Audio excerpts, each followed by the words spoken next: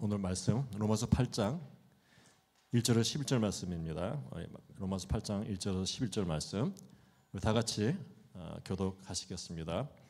그러므로 이제 그리스도 예수 안에 있는 자에게는 결코 정잠이 없나니 이는 그리스도 예수 안에 있는 생명의 성령의 법이 죄와 사망의 법에서 너를 해방하였음이라 율법이 육신으로 말미암아 연약하여 할 수 없는 그것을 하나님은 하시나니 곧 죄로 말미암아 자기 아들을 죄 있는 육신의 모양으로 보내어 육신의 죄를 정하사 육신을 따라 않고 그 영을 따라 행하는 우리에게 율법의 요구가 이루어지게 하려 하심이니라.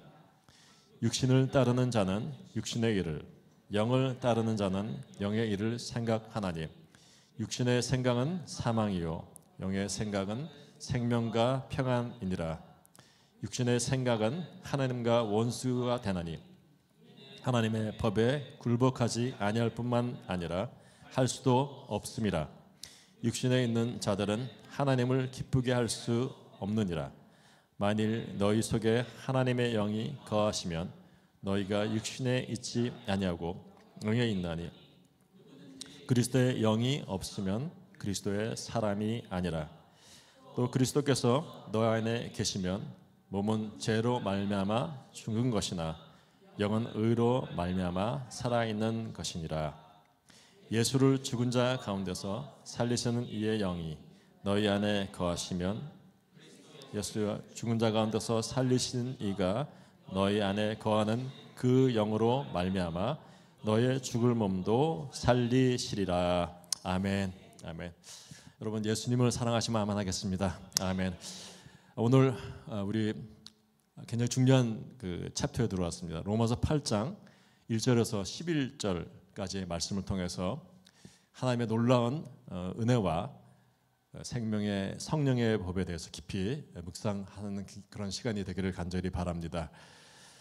한 신학자가 이런 말을 했습니다. 성경은 그 어, 다이아몬드 반지로 비교한다면은 로마서 8장은 다이아몬드에서 가장 빛나는 다이아몬드라고 말합니다.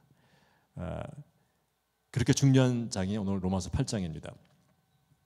그 로마서는 그 기독교의 핵심 교리가 정말 가득 차 있는 그런 거대한 바다와, 바다와 같습니다. 그 사도 바울은 첫 장에서부터 그 이방인의 그 죄를 이렇게 고발하면서 그 그들의 죄를 생생하게 묘사를 한 다음에 그런 그런 다음에 종교인의 종교인은 괜찮느냐? 종교인도 죄인이라는 거예요. 그렇게 묘사하면서 3장에 들어가서 모든 사람들이 죄인이라고 이렇게 아, 말하면서 마칩니다.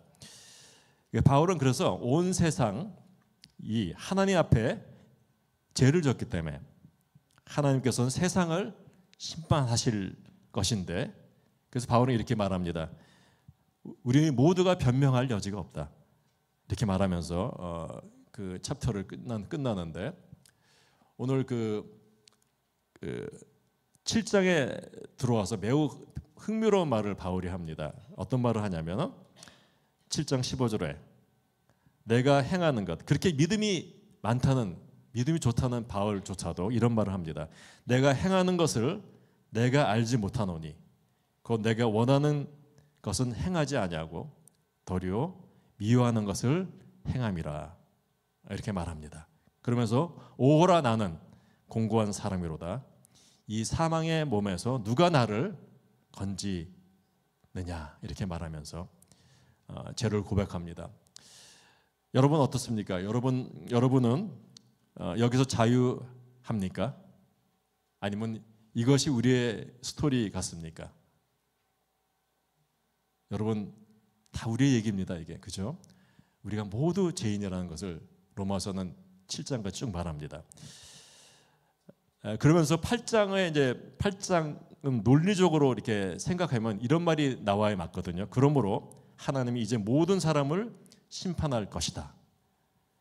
이렇게 시작해야 되는 게 마땅한데 그런데 오늘 본문은 1절은 놀랍게도 전혀 다른 말을 우리 예상 밖의 말을 합니다. 우리 한번 8장 1절 한번 읽겠습니다. 시작. 그러므로 이제 그리스도 예수 안에 있는 자에게는 결코 정잠이 없느니라. 하나님께서 심판을 하실 줄 알았는데 8절 1절은 전혀 다른 말. 예수 그리스도 안에 있는 자에게는 결코 정잠이 없느니라. 아멘. 이렇게 시작합니다. 어떻게 이런 축복을 받을 수 있을까 하는 게 오늘 말씀인데 뭐 때문에 그럴까요? 8절 1절의 말을 근거해서 우리가 축복을 받는 이유는 우리가 예수 그리스도 안에 있기 때문입니다. 아멘. 예수 그리스도 안에 있기 때문에 그래요. 그이 말씀은 하나님께서 우리의 모든 죄를 그리고 용서하시고 자녀 삼아 주시고 그리고 여러분을 천국까지 데려갈 것을 의미합니다. 아멘. 기쁘십니까? 어, 전혀 기쁘지 않는 얼굴. 여러분들 천국에 데려가시겠다는 거예요. 하나님이. 이보다 더 큰 축복이 어디 있습니까? 우리가 좋은 예로 그 구약에 그 방주 안에 있는 노아 얘기가 나옵니다. 여러분 기억하십니까? 네. 그 노아가 방주를 지을 때 하나님께서 무슨 명령을 하시냐면 그 방주 안팎을 역청으로 바르라 이렇게 얘기합니다. 역청으로 바르라는 거예요. 그 노아가 방주를 지을 때 그런 말을 하셨는데 왜 그렇게 하셨을까요? 그냥 하나님께서 심심하셔서 그렇게 그런 요구를 하셨을까요? 역청을 역, 역청이라는 거 아세요? 끈적끈적한 타르예요. 우리 그, 그, 그 파킹장 같은데 공사할 때 타르 깔잖아요. 여기 길거리에도 타르 하는데 그런 것을 발르라는 거예요. 왜요? 방, 방주가 물에 들어갔을 때 물이 새지 않도록 방수하기 위해서 이렇게 바르라 그랬던 거예요. 처음 듣습니까? 방주 안팎을 역청으로 바르라 그랬어요. 근데 흥미로운 것은 이 바르다는 이 바르다라는 얘기가 히브리어로 카파르라는 단어인데 카파르 이게 속죄라는 의미하고 똑같아요. 근데 어떻게 여러분 생각하실 거예요? 뭐 바르다하고 속죄하고 무슨 연관이 있는가? 그렇게 생각할 수 있습니다. 그 하나님 여기서 하나님의 심판은 홍수로부터 보호하는 것처럼 발라서 홍수가 비가 못 들어오도록 물이 안 들어오도록 바른 것처럼 속죄는 하나님의 심판으로부터 하나님의 은혜로 덮고 발라서 하나님의 심판을 피한다는 이런 의미입니다. 그래서 바른 바르는 거하고 속죄하고 똑같은 의미라는 거예요. 히브리 단어가. 아, 방, 그래서 여러분 그 방주 안에 있는 것은 어떤 의미입니까? 그리스도 안에 있는 거랑 똑같은 의미예요. 그래서 하나님께서 세상 밖에 세상 밖은 심판하지만 예수님 밖에 있는 것은 심판하지만은 예수님 안에 있으면은 심판을 면제시켜 준다는 겁니다. 아멘. 면제시켜 줬다는 거예요. 그래서 히브리 그러면 어느 정도 하나님께서 그 하나님의 그, 그 십자가의 보혈 속죄의 능력이 얼마나 온전하고 영원할까? 아, 그게 히브리서 10장 14절에 말씀이 나오는데 우리 한번 10장 14절 말씀 히브리서 다 같이 한번 읽겠습니다. 시작.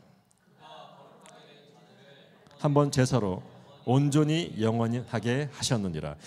그가 거룩하게 된 자를 우리를 그냥 일시적으로 한 달만 아니면 1년만 우리가 그 구원해 주신다는 말이 아니라 얼 마나 얼마나 영원히 온전하게 하셨느니라. 아멘. 그래서 우리는 그리스도 예수 안에 있기 때문에 하나님의 진노에서 벗어날 수 있는데 그 예수님의 희생 제사는 그만큼 그 온전하고 영원하고 아주 완전하다는 거예요. 할렐루야. 그래서 여러분의 그 과거의 죄뿐만 아니라 여러분의 현재 죄뿐 죄뿐만 아니라 아직 저지르지도 않은 미래의 죄까지 하나님께서 법적으로 무죄로 선고하셨다는 겁니다. 할렐루야. 여러분 완전합니다. 그래서 예- 예수님만 예수님 안에만 들어가면 여러분은 완전한 구원을 경험하게 되실 줄 믿습니다. 아, 어, 그래서 우리는 그 하나님 심판에서 벗어난 거예요. 그럼 무엇이 아, 이것을 가능하게 했을까 하는 얘기입니다. 우리 2절 한번 읽겠습니다. 시작. 2절. 이는 그리스도 예수 안에는 성령의 성례법이 죄와 사망의 법에서 너를 해방하였습니다. 아멘. 여러분, 어, 죄와 사망의 법은 우리를 계속 끌어당겨요.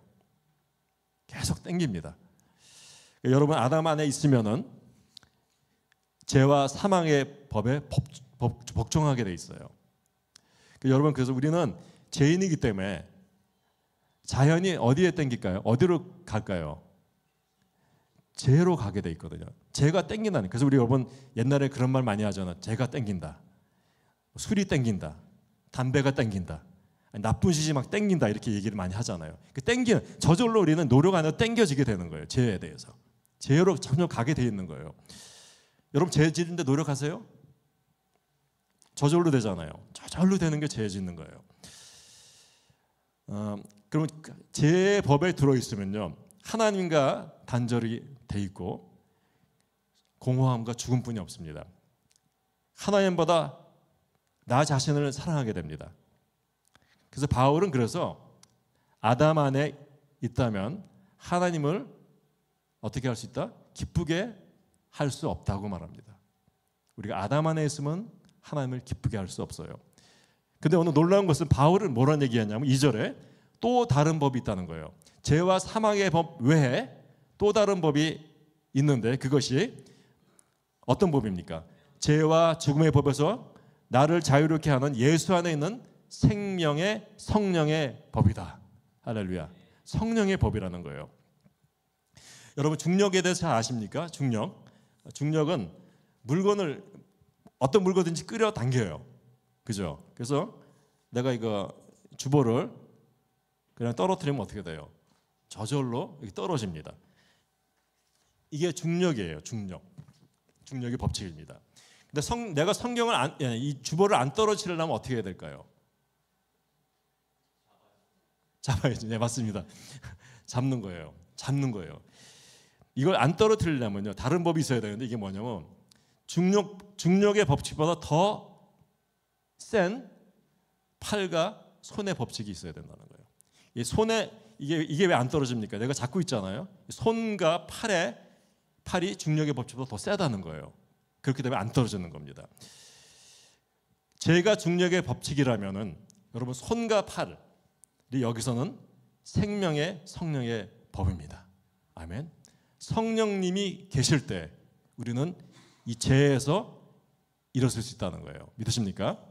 죄에서 일어설 수 있다, 있다는 거예요.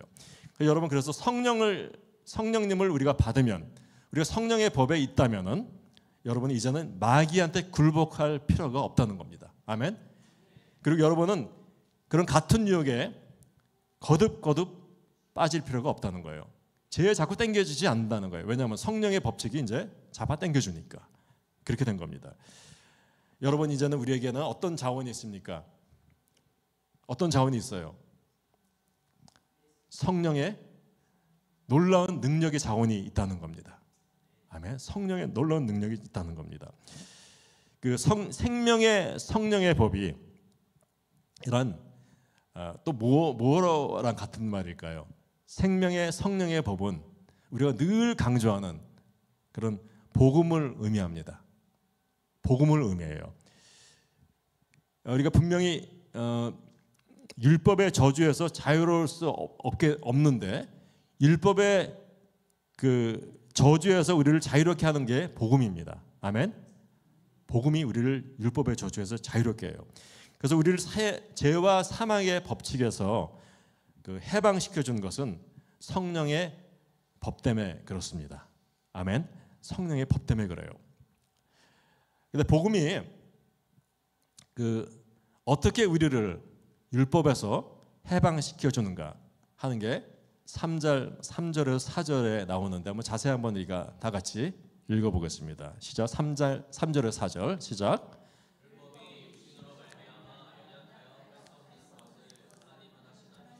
곧 죄로 말미암아 자기 아들을 죄 있는 육신의 모양으로 보내어 육신의 죄를 정하게 하사 육신을 따르지 않고 그 영을 따라 행하는 우리에게 율법의 요구가 이루어지게 하려 하심이라. 아멘.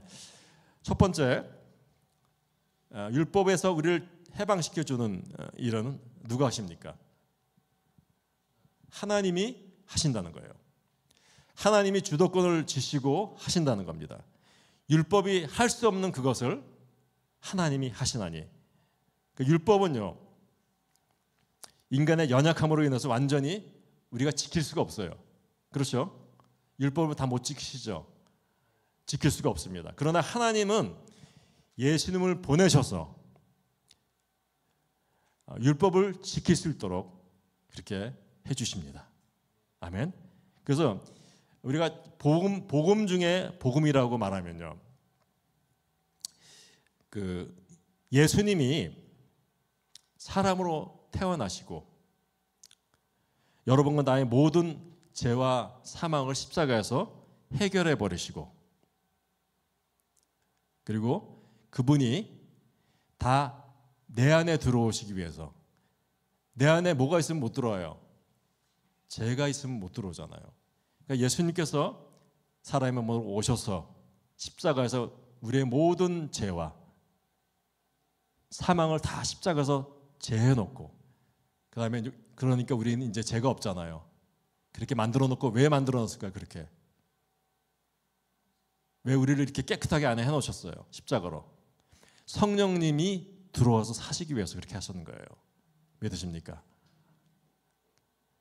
십자가 후에 더 큰 일은 뭐냐면 우리를 깨끗하게 하셔서 우리 안에 성령님이 사실 수 있도록 그렇게 하셨다는 거예요. 놀랍죠? 여러분 안에 누가 계십니까 지금? 어, 성령님이 계시잖아요. 이거 정말 노, 이거보다 더 큰 기적은 없다고 제가 몇번 말씀하셨거든요. 성령님이 내 안에 있는 것만큼 큰 기적은 없어요. 여러분 그렇게 큰 기적을 여러분 체험하고 계십니다. 아멘. 그 그래서 들어와서 하신 이유는 하나님께서 우리를 인간을 창조하신 이유가 여기 있습니다. 하나님이 우리 인간을 창조하신 이유는 뭐냐면 내 안에 들어오셔서 나와 하나님이 하나 되게 위해서 우리를 창조하신 거예요. 믿으십니까? 그래서 주님의 생명이 이제는 누구의 생명이에요? 내 생명이 되게 하신 거예요. 이것이 이것이 생명의 성령의 법칙입니다. 아멘. 성령의 성령의 법칙은 예수님께서 나와 함께 하시는 거예요. 아, 그렇게 우리 정말 너무 놀라운 축복입니다. 여러분 감사하시고 하나님께 영광 돌리는 그런 시간이 되길 바랍니다. 그 5절 7절 한번 다시 읽겠습니다. 읽겠습니다. 5절 7절 한번 읽겠습니다. 시작.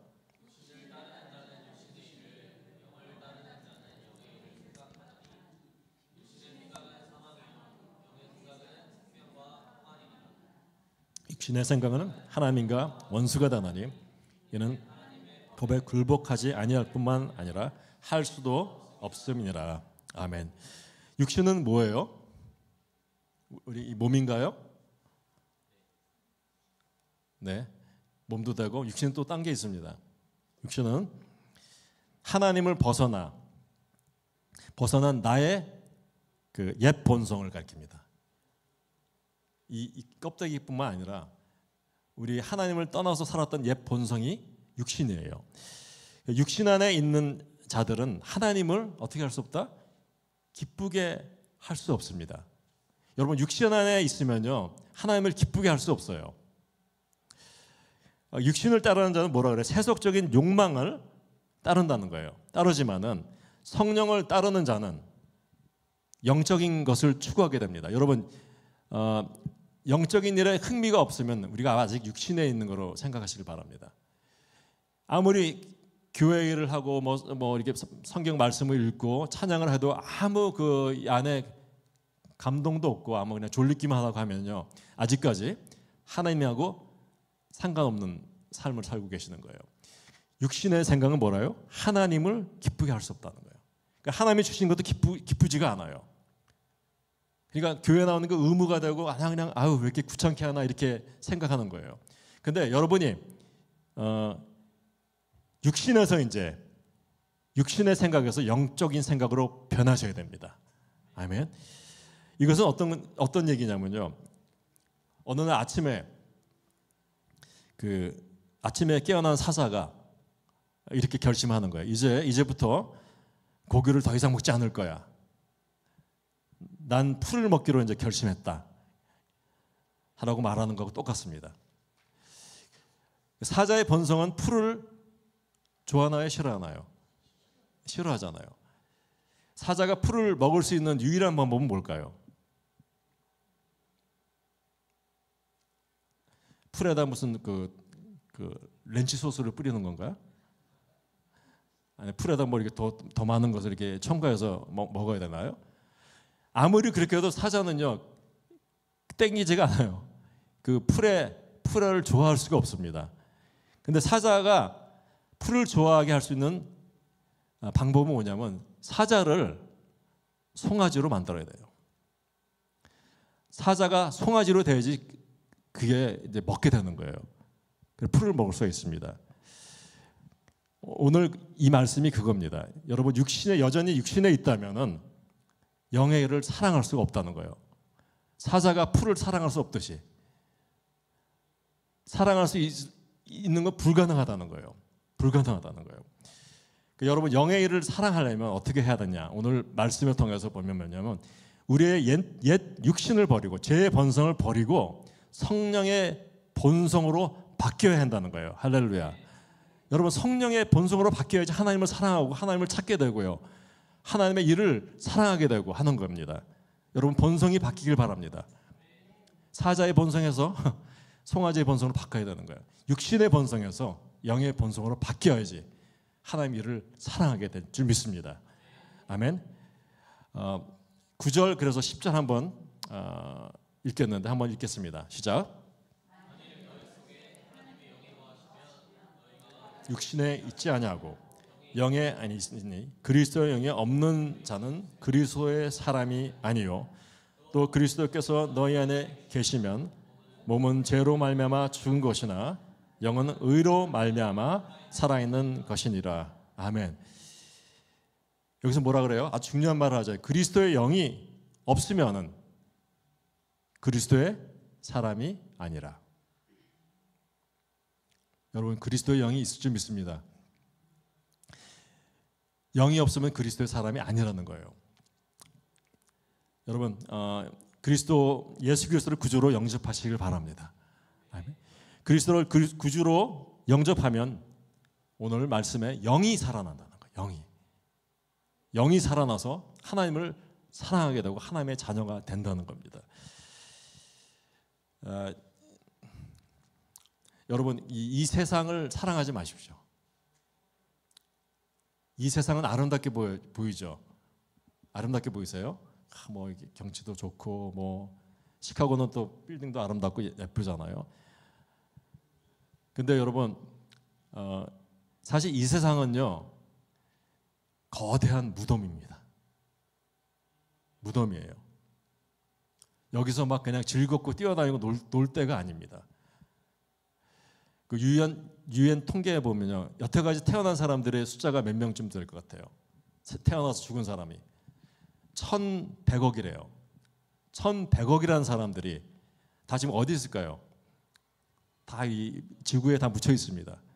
우리가 아마 요 밑에도 누가 묻혀 있을지도 몰라요. 사방 우리는 우리는 무덤 위에 살고 있습니다. 세상 이 세상은 무덤이에요. 무덤. 너도 나도 앞뒤 그냥 좀 빨리 가나 늦게 가나 다 상관없이 다 밑으로 다 묻혀 있는 거예요. 그러니까 그렇기 때문에 여러분 이 세상 이렇게 사랑할 곳이 못 돼요. 무덤이에요, 무덤. 그래서 어, 그래서 우리도 어, 모든 인간은 앞서거니 뒤서거니 암으로 돌아갈 수도 있고 나이가 들어서 돌아갈 수도 있고 하나님께서 그 사람이 죽는 방법은 수백 수백 가지로 아주 다 버라이어티하게 해놓으셨어요. 어떻게 돌아 돌아갈지 몰라. 그렇지만 100% 확실한 건 뭐예요? 무덤으로 간다는 거예요. 무덤으로 간다는 거예요. 그렇기 때문에 이 세상 그렇게 사랑하지 마시라는 거예요. 오늘 육신의 생각은 세상을 사랑한다는 거예요. 세상 사랑하지 말라는 거예요. 우리가 영을 사랑하기 바랍니다. 왜냐하면 하나님의 영인 성령께서 언젠가는 여러분의 몸을 죽음에서 살리실 것입니다. 아멘. 그게 11절에 나오는 말씀이에요. 한번 11절 다 같이 한번 읽겠습니다. 시작. 예수를 죽은 자 가운데서 살리신 이 영이 너희 안에 거하시면 그리스도 예수를 죽은 자 가운데서 살리신 이가 너희의 주 몸을 말하 너의 죽을 몸도 살리시리라. 아멘. 아멘. 예수님이 부활하셨습니다. 오늘 성경의 말씀에 근거해서 예수님이 부활하셨으니까 여러분의 몸도 부활할 거라 할 거라 그러는 거예요. 여러분의 몸도 부활합니다. 믿으시면 아멘 하십시오. 아멘. 그래서 누구든지 예수 그리스도 안에 있는 자는 새 피조물이다. 새로운 피조물이라는 거예요. 어, 그래서 복음은 복음이라는 것은 우리가 이제는 죽잖아요. 그렇지만 예수님께서 우리를 살리신다는 거예요. 어떤 영만 살리시는 게 아니라 우리의 몸까지 살리신다는 거예요. 그게 우리의 축복입니다. 아멘. 그래서 복음이란 실제로 하나님께서 우리 안에 약 우리 안에 죄를 취해서 십자가 안에 담그셔 가지고 의로 바꾸는 능력이라고 합니다. 기억하십니까? 우리의 죄를 취하셔서 이 십자가에 우리의 죄를 담그셔서 의를 의로 만드는 능력이라는 거예요. 이게 바로 복음입니다. 할렐루야. 복음이에요. 저는 아침에 오늘 그 로마서 5장 9절을 읽으면서 너무너무 정말 가슴이 뜨거워졌습니다. 정말 감동적인 말씀이다. 아, 정말 은혜를 많이 받았습니다. 혼자서.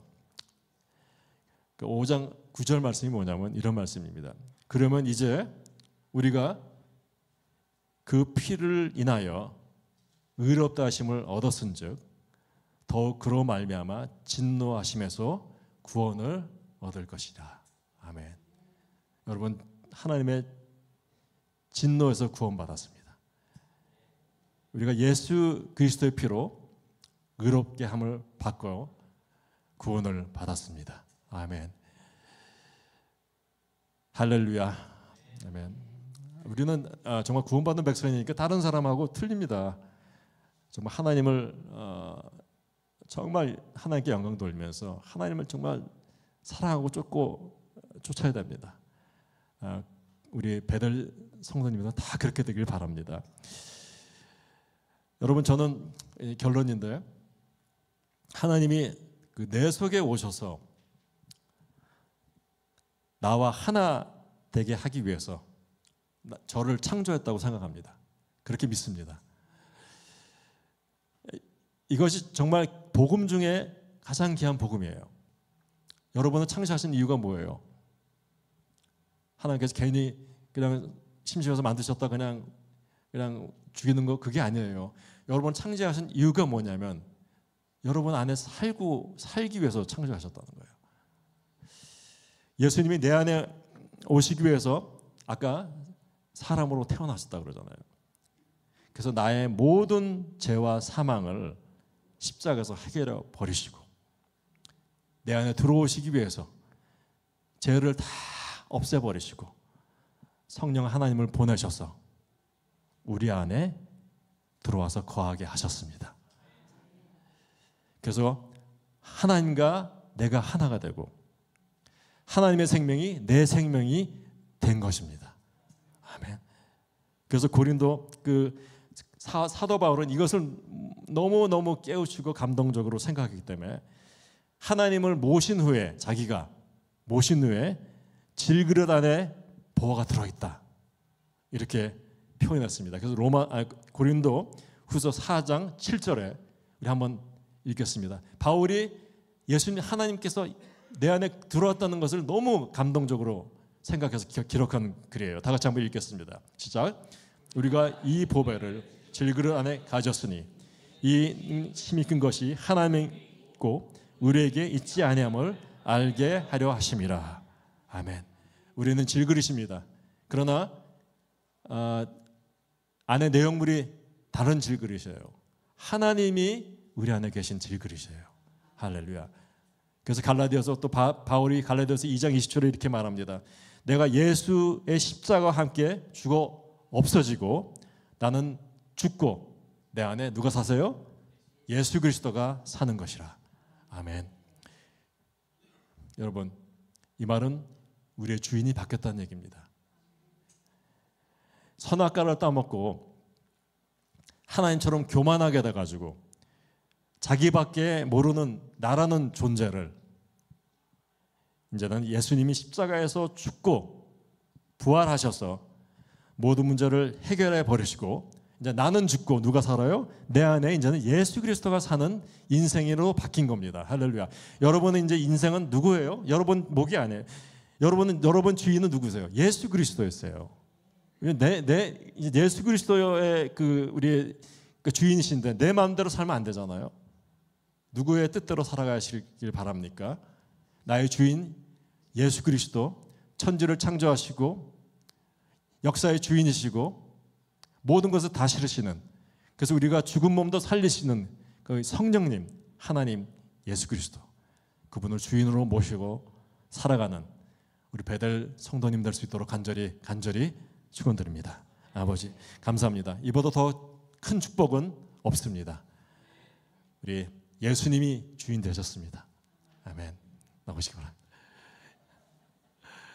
예수님 주인 되셔서 안 나오시나요? 어, 예수님이 주인 되셨습니다. 우리 아, 정말 그래서 우리가 하나님께 영광 돌리고 찬양 드리는 건 다 이거예요. 나의 주인이시다 이거예요. 찬양은 뭐예요? 나의 주인이심을 영광 돌리는 거예요. 오늘 어, 찬양 다 일어나셔서 우리는 우물가의 여인처럼 맨날 헛된 것만 찾았습니다. 세상에 헛된 것만 찾았는데 이제는 나의 주인 되신 예수 그리스도를 찾기를 바랍니다. 그래서 간절히 한번 고백하는 마음에